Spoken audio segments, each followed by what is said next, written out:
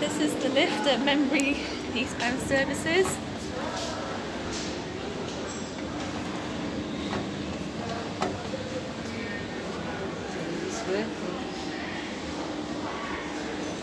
Last time I rode this, this was an absolute death trap. it's working.